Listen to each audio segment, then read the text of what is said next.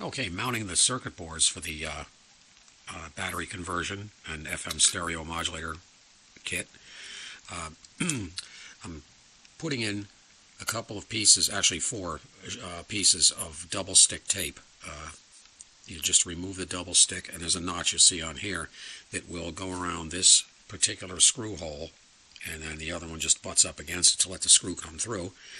And then there's uh, two pieces for the transmitter side and two pieces for the preamp, which I already have the preamp on top. There's the, the uh, uh, double stick tape, one little short screw which I give you, and then there's a, whoops, and then there's a nut on the other side, which is right, right there. There's the nut.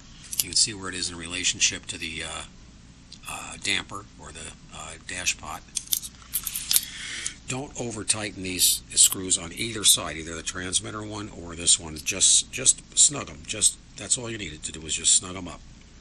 And the transmitter, I'm going to send these pre-wired like this, so that the only wire connection you're going to have to make is the power connections. And you put this in here the same way with a screw. The screw is going to go through the existing hole in the board existing hole right there. It's going to go through that hole. And it's going to go through the hole, sit down on top of the uh, of the double stick tape. double stick tape is there to keep it from shorting out. And that's going to go down onto there like that. Just like that. Center it and then put the nut on the other side of that screw. And again just just snug it up. Don't over tighten it or you'll flex the board and you'll crack it. And then that's the end of it. After you're all done with that then there's three power line sets the red and blacks one for the transmitter one for the preamp and one for the motor. They all go in parallel so that all three reds are together all three blacks are together and then, then you run a wire from there over to your switch. There's no switch on here. I can't show it to you because this doesn't have a switch. It's gone, so I can't show it to you. And the switch will just interrupt the positive side of the battery snap here so that the black wire from the battery snap will join all the other blacks over here and the red wire will be interrupted by the switch and then another red wire from the other side of the switch comes out of there and joins the other red wire so everything gets turned on and off by the switch.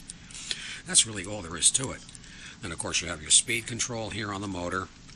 Uh, the motor has its own regulator, so that does not need a regulator. And uh, that's all. This is loose and floppy like this because I don't have the thing socked up. It's not ready to do that with this yet. So anyway, that's the uh, the whole FM stereo kit. The only thing that's not on here now, I haven't soldered the antenna wire onto this little tab right here. Uh, I'm, I'm, not doing that yet, just just to keep it out of the way.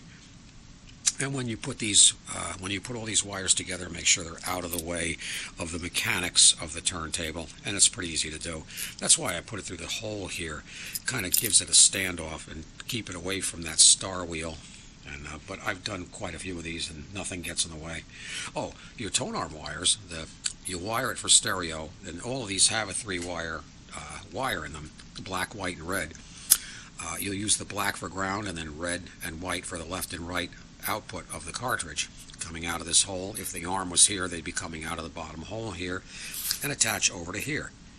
The uh, signal wires, the red and white, will go to the one to this resistor, one to that resistor, the little hook there, and the black ground wire will go to this little hook right there. And that will hook the arm up to the uh, system. The adjustment pots, don't usually have to adjust these. I pre-adjust them before I ship them. But they just affect the amount of volume going into the transmitter. Too high and it'll get distorted, so you don't really have to worry about that. And that's it.